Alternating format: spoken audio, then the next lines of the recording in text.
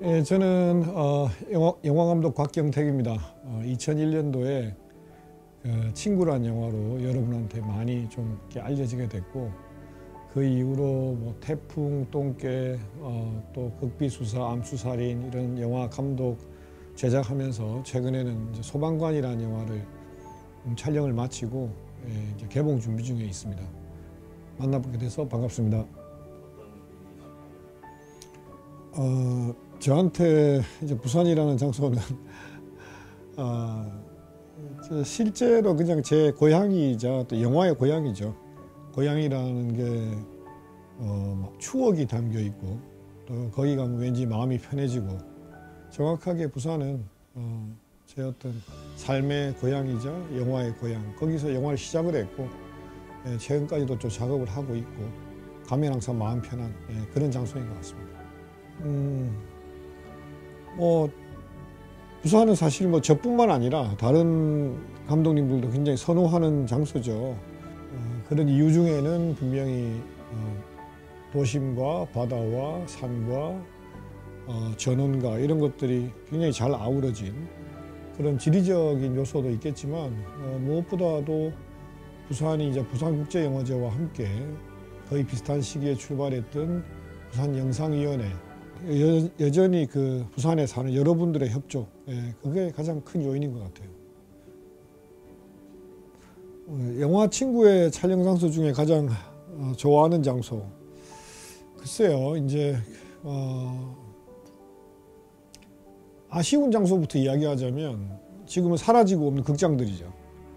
예, 삼성극장, 삼일극장 이런 데 사라지고 없어서 되게 아쉽긴 하고 그 저한테는 개인적으로 가장 좋아하는 장소는 어릴 때부터 어머니 따라 가가지고 이렇게 손에 모이 놓고 이렇게 비둘기 밥 주던 용두상공원이 아닌가 싶습니다. 가장 전통도 있고 또 추억도 많은 장소니까요. 예, 얼마 전에 모 프로그램에서 그 이제 제 작품 친구에 국한한 게 아니라 부산에 부산이 이제 영화 촬영지로서 어떻게 변모해 왔나라는 프로그램을 다룰 때 그때 이제 제가 초대돼서 어, 친구 촬영 장소에 어, 몇번 갔던 적이 있는데 이제 벌써 많이들 없어졌더라고요. 예, 재개발이 이루어지고 그래서 그때 썼던 장소, 집 예, 이런 데는 이제 많이 없어지고 영화 속에만 남게 됐네요 결국에는. 아 친구 장면 중에 두세 장면 정도를 재현하신다. 일단은 돈이 너무 많이 들면 안 되겠네요.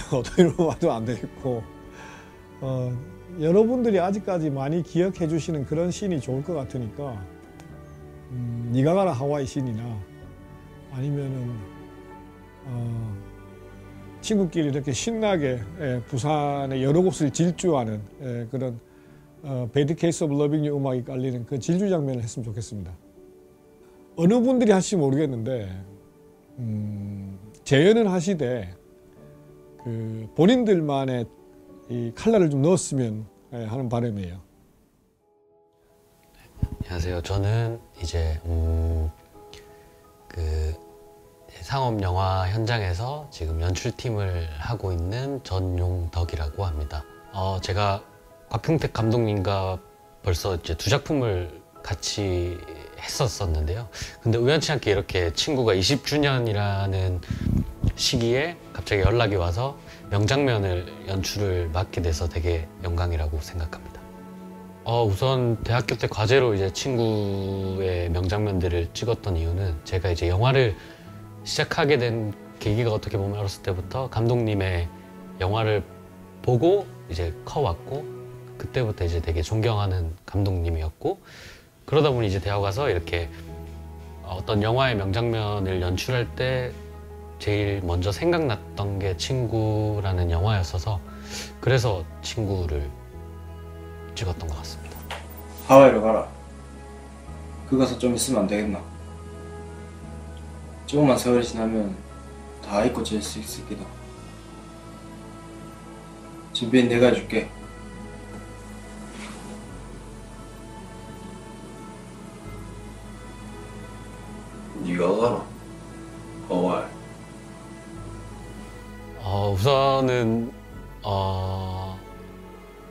우연치 않게 연락을 받아서 근데 이제 연락을 주신 분도 제가 감독님이랑 작품 했다는 사실을 잘 모르고 있는 상태에서 제가 대학교 때 과제만 한 거를 보고 연락을 주셨는데 되게 음, 우연이지만 되게 좋은 기- 추억이 될 것 같아서 어, 되게 하고 싶어서 이제 부산까지 내려왔고요.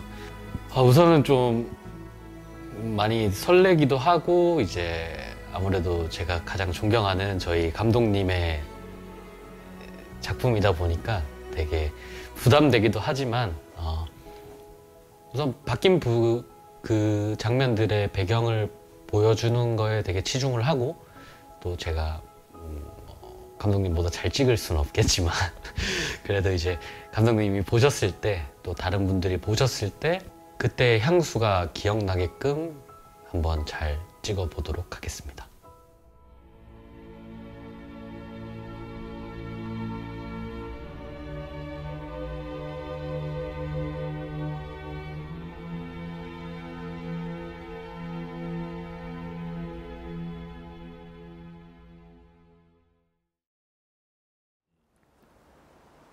내는 네가 한번 올 줄 알았다.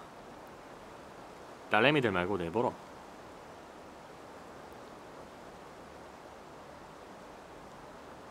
미안하다. 아니다. 내 친구끼리 미안한 게 어딨노? 중학교도 니랑 같이 댕겼으면 좋았을 낀데. 니랑 댕겼으면 우등생 됐을 거 아이가.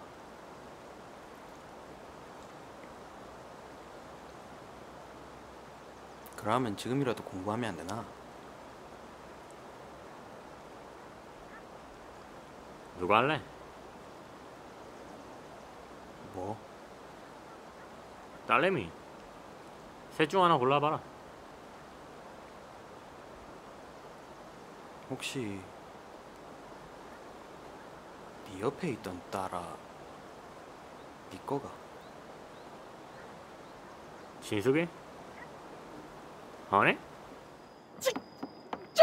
쌈 뺐거든. 그때 우리 이모가 문을 팡 열고 들어오는 기라. 와, 씨, 내 얼마나 놀랬는지 아나? 이모가 내 손을 딱 보더니 니 그게 먹고 일하는 기라. 와, 그래가지고 내가 놀래가지고 순간적으로 뭐라 그랬는지 아나? 뭐라 그랬는데? 어? 이거? 이것은 동동구리무이다. 동동구리무. 동동구리무. 동동구리무. 마라 새끼야. 진짜다. 동동구리무. 저 씨발놈들 봐라 주고. 와, 뭔데? 저저 주마 저것도 저거. 조매가 너 일로 와봐 이 새끼들아. 일로 와봐. 괜찮나? 어? 일로 와봐 이 새끼들아. 일로 와. 일로 와. 아이씨. 가자. 와이 새끼들아. 상태가. 어? 다음에도 혹시 아새끼들 뵐 일 있으면 확실하게 조져야 된다. 와, 나는 아까 그 정도로 그치면 다음에 네 보면 또 해보자고 달라져. 누굴 조질 때는 아예 확실하게 조지가 다음에 눈만 마주치도 오줌을 찔끔 싸게 만들어야 되는 기라. 아예 용서해주고 같은 편으로 만들든가. 그게 아니면 빈신으로 만들었기라. 그래야 뒤탈이 없다. 알았다. 다음엔 그렇게 할게.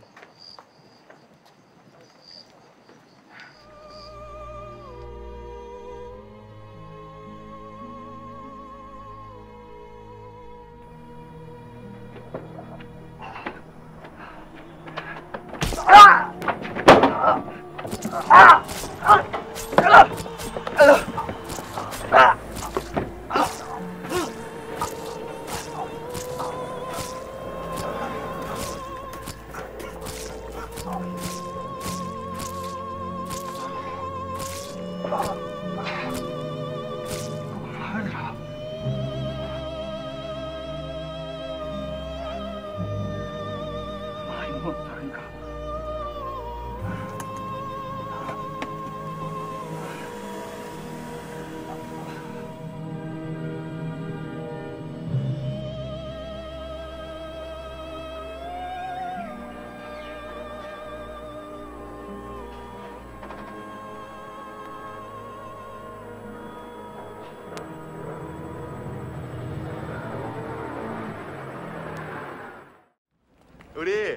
기념으로 영화 앞으로 땡길래? 영화? 그래. 꽁지가 영화표 사기다. 무슨 공주? 달리기. 저 새끼죠.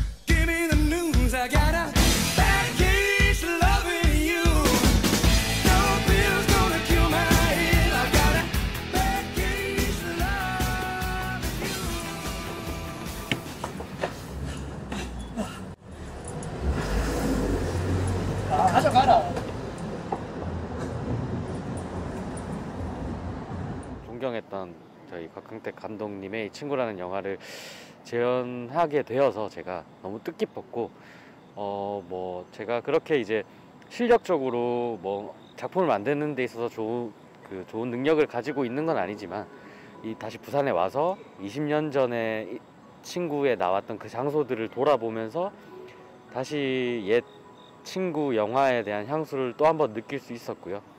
퀄리티적으로 이렇게 완벽하진 않겠지만 어, 다시 제가 감독님의 작품을 재현을 한다는 거에 있어서 되게 뜻깊었더 뜻깊었다고 생각합니다. 그래서 되게 재밌었고 어 뭐 곽현대 감독님께서 보셨을 때 되게 어, 이상하실 수도 있겠지만 만약에 보시게 된다면 재밌게 봐주셨으면 좋겠고 아직까지도 이번 촬영을 하면서 주위 분들이 친구라는 영화에 재현을 하러 왔다고 하면 다들 대사들과 그런 향수들을 기억해 주신다는 게 되게 너무 좋았던 것 같아요. 그래서 어, 친구가 저는 20주년이 아닌 30주년, 40주년이 돼도 많은 사람들한테 기억이 남는 그런 영화가 될 거라고 생각하고 또 그렇게 제 기억 속에도 제일 좋은 영화로 기억될 것 같습니다.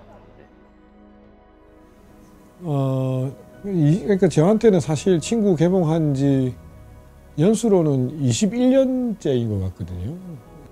마치 엊그제 찍은 영화 같기도 하고 또는 까마득히 옛날에 찍은 영화 같기도 하고 하지만 이제 또 안타깝게도 그 사이에 어, 저 세상으로 간 얼마 전에 하늘나라로 간 우리 김보경 배우도 있었고 어, 또 각자 배우로서의 삶, 또 다른 어, 직업인으로의 삶을 살아가고 있는 여러 어, 동료들을 생각하면 음, 참 오래, 올해는 됐구나 어, 라는 생각을 하고 35살인 제가 어, 참 그 작품을 만들 때 어, 많은 동료들의 힘이 없었다면 지금까지도 사랑받는 영화가 됐을까 예, 다시 한번 우리 연기자분들, 스태프분들한테 감사드리고 싶습니다.